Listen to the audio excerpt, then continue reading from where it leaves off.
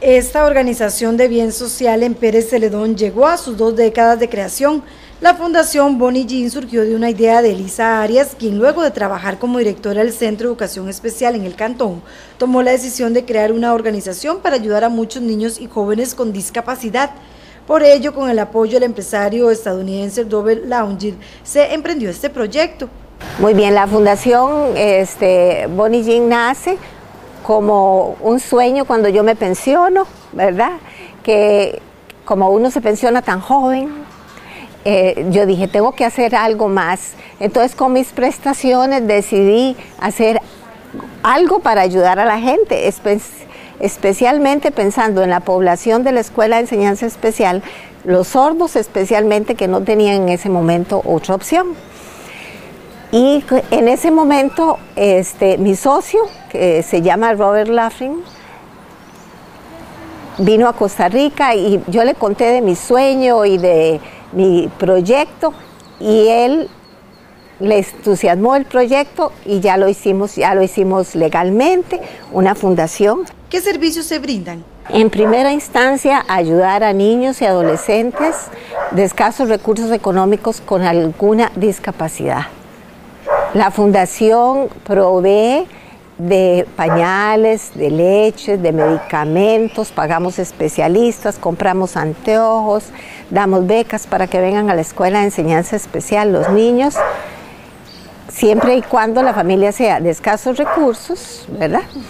Y también damos servicio de psicología, servicio de apoyo pedagógico y servicio de terapia de lenguaje somos una entidad privada, cobramos por nuestros servicios de acuerdo a la situación económica de cada hogar. Al año se requieren unos 30 millones de colones para dar la atención.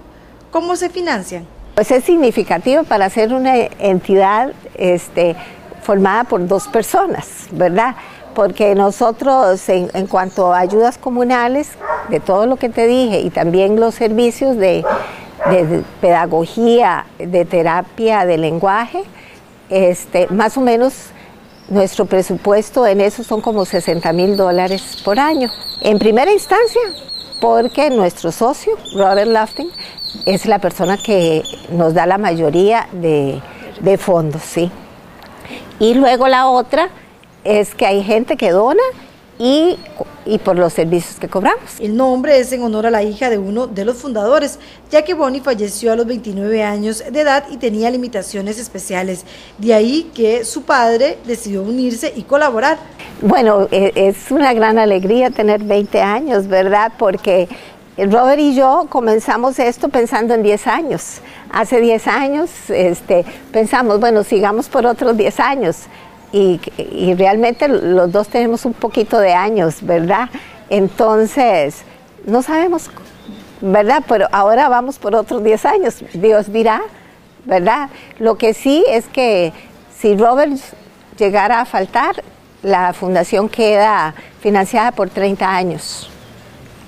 Entonces, eh, la fundación, si Dios lo permite, nos va a sobrevivir a él y a mí, ¿verdad? No importa que nosotros ya no estemos, este, la fundación va a estar por un tiempo más. En la fundación esperan continuar ayudando a más personas que lo requieren.